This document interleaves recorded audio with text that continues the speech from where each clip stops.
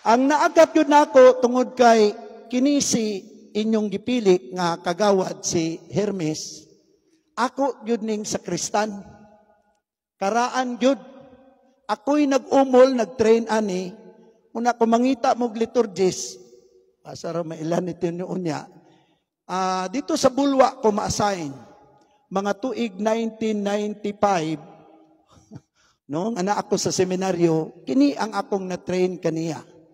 Uh, di na nako isgutan pa ang mga detalye, pero nga nung nagkauban kami, kay ako gyud nag-umol kaniya, uban diha sa kumbinto, sa mga katilingban, knows well diha sa dagan sa simbahan. Sa una, sa iyang pagpananghid nga magsulod sa politika, ingon ko, wa ka ka mabuang, mo wa ka ka magtukar, unsa imong gibati, anong musulod man kana, nga there are many forms of rendering services to people. Pero ingon siya, sama nga ikaw nagpari, ako po maybe doon na laing role. Uh, ambot og unsay resulta sa unan niyang attempt, mas nasayod mo kaysa ako. Wa ko magbali-bali, wa gani ko magingon mangampan niya uban pa ko dili ko manghilabot. Imo nang katungod. Kay kaming mga pari, mag-apil-apil ana ino na pud unya nag apil-apil sa? Hello. Nag-apil-apil sa? Oh, so atong likaya na. Ay dagan mga dahig na ta, dagan na mga pari na involved karon ana, di ba? Unya, wa da mahabi na kog nawala na iyang nag-alintabo nga pagbati nga may mong politician. Ni attempt man pag langsad nga kagawad nga independent pag yun ko nga, nagi, kung sa kay tuyo aning bataa ba? Unya, ni daog baya. Hello? Ni daog baya. Munang niya, imbis akong pasagdan, why not help him sa iyang bag-o nga ministry uban kaninyo dini sa lungsod sa kinugitan. Kaya iyang mga tumong og tinguha para man sa kayuhan sa kadaghanan o sa katilingban. Imbis nga ako lang ihilom ang ako mga pag-ampo sa iyang kalampusan, why not? Nga ubanan ako sa mga prayer uban sa iyang mahal, sa iyang pamilya, mga kaubanan, kaigsuunan, and most especially for you taga kinugitan, uban sa mga opisyal diin, si Kagawad Hermes, mahimong kabahin sa pagtabang kaninyong tanan. So, mao na ang dakong hinungdan nga nung nakaabot ko diri, akong giguba ang akong code of silence for a while para nini maong kalihukan, but I will continue sa pagampo uban kaninyo nga ang inyong pagpadagan sa maong panggobyerno nining maong lungsod muhatod gayud sa kalambuan uban sa inyong gipili nga mga opisyalis. Apil na si Kagawad Hermes ug sa tanan. So muna mga igsuon o talagsaon usab kini nga kahigayunan kay ni atong Simana Santa paabuton dinhi ako giimbitar ni Father Galas. Hello. Kinsa ba tong naa ni atong higayuna? Uy, daganday ka mo. O, nagisgot ko ato sa addiction in different forms ug unsaon pagtabang ug pagsabot kining maong kahimtang labi na sa natad sa substance, addiction, druga at iba pa. Apan duna pagyoy labaw nga addiction mga igsoon. Halo. Gusto ba mo mahimong adik? Lingian ang pag-usay mong abay, ikaw gusto ka mahimong adik. Now, tudluan ta mo, with my experience for almost three years, nga na-out ko kadyot, for special formation and training, maayo jud nga maadikta. But this form of addiction must be an addict to God. Kung maadikta sa ubang butang, I must tell you, let our lives be an addiction ngadto sa Ginoo ang atong labaw nga makagagahaw. Kung ang atong kinabuhi maadik sa Dios, kamo nalay tiwas, tiwas og explain kung unsa ang taong na adik. Ang iyang mga huna-huna, pagbati, kalihukan, adtugyod sa ko sa iyang addiction. And if God is the cause of your addiction ngadto kaniya, isn't it beautiful nga ang atong kinabuhi dunay kalinaw nga tinuod, kalipay nga atong pagabation kung ang Dios mauna gayud ang nagpuyo sa atong kasing-kasing. Munang naa karong Domingguha mga igsoon, tugod di ako sa pagsilip makadyot sa kinabuhi sa atong Ginoo in line sa dagan sa mga hitabo sa atong panahon karon. O kini ang akong pangutana. Unsa kaha ang sekreto sa kinabuhi sa atong Ginoong Hesus ngano nga samtang buhi pa siya sa iyang pagkatao sa kalibutan buhi man siya kanunay unsa ang mga sekreto sa iyang kalampusan What are the secrets of Jesus Himself nga nung malampuson siya sa iyang tahas o misyon? He is a person who is always on mission. Unsa kaha ang sekreto sa kalampusan? Mga igsuon, malampuson ba kamo sa inyong mga pangandoy o tinguha? Ikaw nga inahan karon, makaklaim ka ba nga malampuson ka? Kamong mga ginikanan, can you claim nga malampuson ang dagan sa inyong kinabuhi? Ay tubaga, kalihog, ikaw ra. Kamong magtiayon, perfect ba ang dagan sa inyong relasyon? Nadumduman mo ba? Ikaw ba na og asawa o sa kaadlaw ni anak sa panahon sa imong pagkasal, miingon ang pari, palihog hawid sa tuong kamot ahawid. Na kay dili anad sa simbahan, ningon ang pare, palihog sabat, ningon kasab, palihog sabat. No? Unya unsay gipasabat? Moingon din ang pare, itugot Ginoo. Nga kami magkahiusa sa kasing-kasing o gunahuna. Sukad karong adlawa, bisag unsay mahitabo sa maayo ug dautan sa kahamugaway og kapitos, sa sakit og maayong panglawas, until further notice.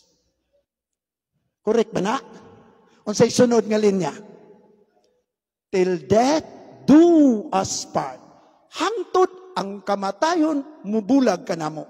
Og kining commitment to faithfulness, commitment sa pagkamatinod. Anon, dili ginitawag lang sa magtiayon apan kita nga gitawag sa Ginoo karon come follow me. Dali sunod kanako gitawag kita to be in intimate relationship diya sa Ginoo. Nga lawom ang atong relasyon. O kining commitment makita diya sa pag-alagad so unsa may mga sekreto sa Ginoo nganong successful kayo siya dunay upat nga akong nakitaan Daghan kaayo pero upat lang kay tamahuman. Ang una na kong nakitaan sa Ginoo, ang iyang kinabuhi is focus. Focus kayo siya. Dunay sense of direction asa siya paingon.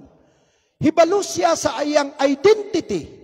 Nga siya anak sa Dios, nga siya mi anha gipadala sa Dios aron muluwas sa iyang mga tao gikan sa kaulipnan sa sala hawason niya pinaagi siyang kamatayon pagantos kamatayon o pagkabanhaw diin matagamtam nato ang kaluwasan. Wala kana mawala ang puko sa atong Ginoo. Ug pukos kayo siya sa iyang mga buluhaton tanawa kuno kung ang atong kinabuhi pukos or di pukos sa imong pagkabana. Unsaon nimo nga mapokus ka sa imong panaad sa imong asawa. Hinumdumi, ang pagpokus nimo dili pirmi maayo ug dili pirmi maayo ang dagan. Kay sa imong pagpokus sa imong asawa, remember daghan pang mga babay nga imong makita. Hello. Ug sa imong pagtan-aw sa imong asawa, Mao ba niyang akong gipakaslan? Murang nidako naman. Cute man kay ito siya sa una. Tungod sa nahitabo sa lawa sa imong asawa, na dipukus ka na dayon. Wow. Kami pong mga pari. Nga nag-ingon, I will give my life to God. I will give my life totally to God. Pag abot sa parokya, kamo na lay tiwas, unsay nahitabo. Mas maayo pa mong mutiwas. Tanan nga mga tentasyon, mapari, kardinal ka man, santo papa, all of the above, makapadani o makadipokos sa tao. And that is why, ang atong ginoo, focus kay siya, I am here to do the will of the Father. I am here ni ako diri kay kini ang akong role o papel nining kalibutana. Paghawas to save my people o pag-angkon sa kinabuhing way katapusan. Usa na sa mga dakong sekreto sa atong Ginoo, focus kayo when you serve, when you nagpasalig ka sa mga tao, nga mag-alagad kanila, focus basin sa eleksyon na ka nagpukus. Pero panahon nga hitikayon ka na, mawala ang imong punting o focus o direksyon sa imong pag-alagad. Dako ang tentasyon ni ana. Brad, Kagawad Hermes, and company, develop sa pag-focus yun sa inyong mga panaad to serve the people and to serve God and His people. Ikaduha, o ikatulo, o ikaupat. Ang atong ginoo, aron maligo ang iyang focus, tulo ka mga movements. Una, simple lang. Dili lisod ninyo malimtan. Ang atong ginoo, makamaong mulingkod. Tanawin yung liningkuran karon. Palihog kay usba. Tanawag, kurik ba na inyong liningkuran? Ikaduha, ang ginoo, makamaong muluhod. Ug ang ikatulo, ang Ginoo makamaong mulakaw ug mulihok. Lingkod. Ang paglingkod is a portrait ug larawan nga ang makanunayon nga pagtuon, pagpamatyag, pagpaniid sa dagan sa panahon, sa laktod, ang pag-eskwela, dili taman lamang diya sa classroom, apan ang pag-eskwela sa University of Experience sa UE, ang universidad sa kasinatian na kanunay sa atong palibot ug matag-adlaw sa atong pagpuyo. Dili lang kini makuha apan makatabang gayod. Ang classroom nga kasinatian apan labaw ni ana ang imong pagtuon matag-adlaw. Walay katapusan ang pagtuon Dili pareha sa uman, nag-graduate na ko! Sikat na ko! Ang imong graduation is just a new beginning to a new challenge sa imong kinabuhi. Importante ang pagtuon. Do not stop studying. Dili lang sa mga notebook, dili lang sa mga Facebook, dili lang sa computer o uban pa. But learn. Learn sa pagtuon, labi na sa dagan sa atong kinabuhi. We have so much to learn. Unending ang pagtuon. Daghan kay mga butang nga atong madiskubrihan sa kaugalingon. Hello? Tun-i ko no imong asawa o bana. Kay kasagara mo yun, wa gining akong bana, oy, palahubog, lagi ni, mura gining iyang hibawan Nya mingon pong bana, wa gini akong asawa, marites ra gini kahibawan at iba pa. Hey, do not make a judgment. Usa lang kana kaanggulo. Try to see and learn sa mga nindot kang butang nga wa nimo suway pagtan-aw unsa katahom kagwapa sa imong asawa ug unsa kaambungan ang imong bana dili lang pisikal apat sa nagkalain-laing mga hitabo ug daghang mga hagit sa kinabuhi bisan ang inyong mga anak. Ikaduha, it is not enough to study apan ubanan gayod nato sa pagluhod meaning prayer. Hello, prayer. Sama sa inyong gibuhat karon o sa ato uban sa atong kagawad si Hermes and Company. Ingon siya, Munsi, lisod man kay ko maghurar nga dili apil ang akong kinabuhi nga naandan nga naamang ko sa simbahan. Mag-apil unta ka sa misa, magpamisa ta, magpasalamat ta sa Ginoo. Prayer is of vital importance. Kung wala ang pag-ampo, how can we communicate to God? Kung ang inyong inampuan, palihog pasaylo ako, pariha sa karaan na tong paagi, wasag kumanaway, apan ako lang gitanaw ang gamay nga bikil kung mag-ampo ka kada adlaw, nya maingon ka og karon mag-ampo kita sa 500 ka manamo, 150 ka magimaya ka Maria, 100 ka nga Gloria Patris painungod sa mga kalag sa purgatorio nga nawa ko manaway. Nindot na ato nang i-retain. Pero kung ay mo pag-ampo sa gulan na nimo, magimaya ka Maria, nakalungag ka na? Nakapamahaw ka na ba? Murag attached kay ka. Pero the important thing is, do not forget to pray. In your own way, do na po tayo opisyal nga paagi sa pagampo, apan ang importante, to pray, to kneel, pagluhod. Labi na sa mga yugto, nga murag lisod, sabton ang dagan sa kinabuhi. Naglisod ka, confused ka, you do not know what to do. Consult God. And the way to consult God is to prayer. Asa kutob ang inyong pag-ampo, mga igsoon, ang inyong endurance. Asa kutob, pananglitan, dini sa misa. Prayer na ka. Na matungnan mo nga ang nagwali sa Monsignor Elmer, ala kanusa ka sa mahuman sa iyang wali. Ana no ako'y kadugay gay. Uh, endurance. May gani kay juk-juk siya gamay, di pa na, ganina ang uban, nagaguk na siguro, no?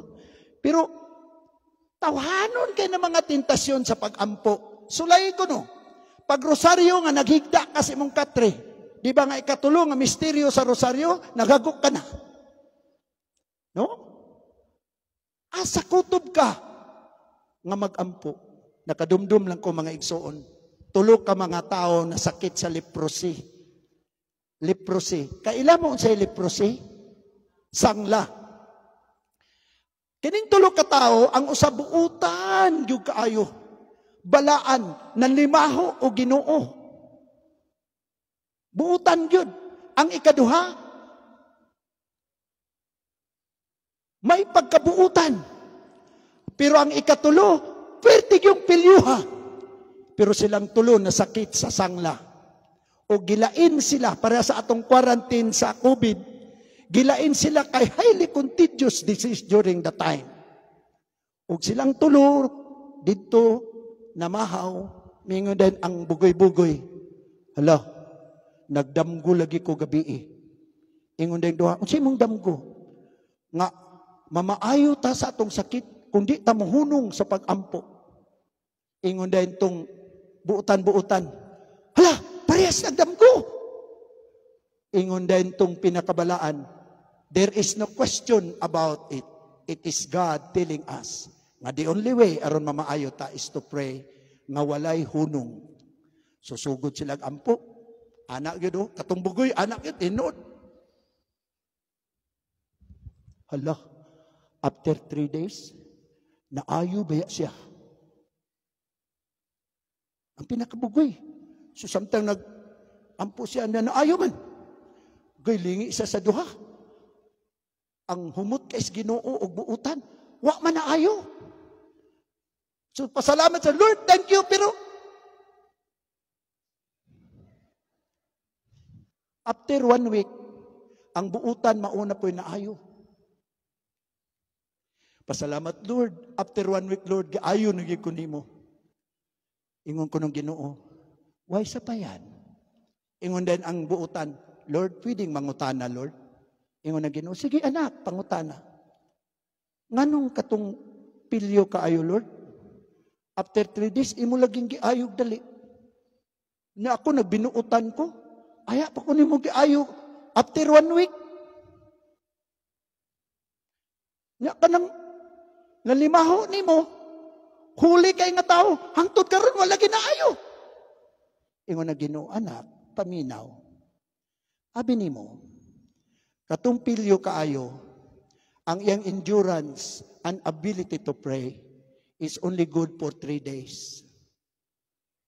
Human sa three days, na tumuampo. Munang, gidali ko siya pag-ayo. Hello. Ang ikaduha, ikaw, one day, two days, three days, kumpiyansa ko, di ka mo biya nako. Pero pag usa ka semana na, naniguro na ko, giayo ta ka. Kay human sa one week, mubiya na ka. Salamat, Lord! Salamat! Last question, Lord. Kana, ano hantod karon wa man ayo? Buutan man na kayo, huli ba? Sabi ni mo anak, kanang tawhana ang iyang life is totally given to me. It doesn't matter for him anymore kung ayuhon pa siya og dili. Kay totally iyang gitugyan ang iyang kinabuhi kanako. Igsoon, asa kutob imong prayer.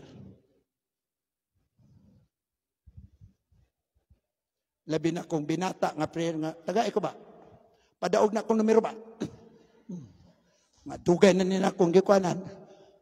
Unya, ang atong prayer sa presentation of credential, Lord, nag-alagad ba ako simbahan, Lord? Akong pamilya na adya, choir, CWL, lay minister na abaya, Lord. Murag sumahan pag mong ginoo. Pangutana, asa kutob ang atong endurance to pray. Pero napagilawom pangutana anak sa endurance. Napailawom. Unsay lawom? Magampo baka. Huy, magampo baka. Say, magsulod sa simbahan, ana o. Oh. Ambot ka, kita ba mo, ana? Manana o. Oh. Pagsulod simbahan, pultana o. Oh. Unsa ka na, na napiang? Na napagi manguros, ana o. Shortcut. Hibalo ka, manguros, that is already prayer. You are calling God, the Father, the Son, and the Holy Spirit. Ay, okay. Ang uban kay ka, na, pag, dako kay nga grasya, pangayoon niya ang inampuan kay. Labi ng mga batanon, sorry. Mauwa kay na, ay na. Uh, Ginuuning atong giatubang. Prayer. Mga igsoon ang katapusan. Ay, magampuay ramanta. Magtuuna ramanta. But if we will not put into action service sa pag-alagad sa uban, what's the use of your prayer and your studies kung dili ka makaalagad sa uban? Ug kini ang hagit nato.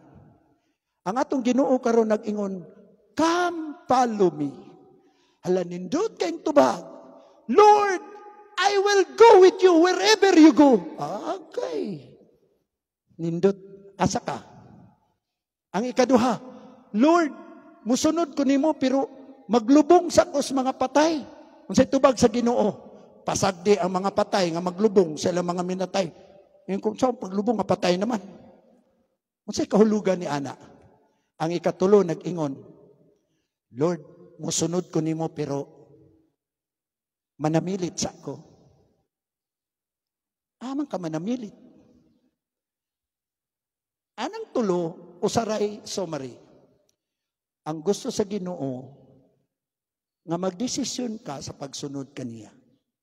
O kung desisyon ka sa pagsunod kaniya, everything will follow. Di ka pasagdan sa Diyos. Amen? Seek ye first the kingdom of God and everything mo abot diya sa imong kinabuhi. Pero ang nahitabo, giuna nato ang uban, gipaulahi ang Dios, munangwa gitay abot sa atong panahon karon. Labi na ba ngayon, naakay, naay kwarta ni mas bulsa ka, naay kay, wag ko'y kwartangan man, nahadlok kang bayluhan. Munang pirmi lang ingon, wag ko'y kwarta hangtod, wag nagyug kay kwarta hangtod karon. Monsenyor, unsaon na pagtubag? Tubag ka, na ko'y kwarta. Pero kung imo ning bayluhon, nawa na ko'y palit bugas. So at least na klaro. Wa ka nag-ingon way kwarta.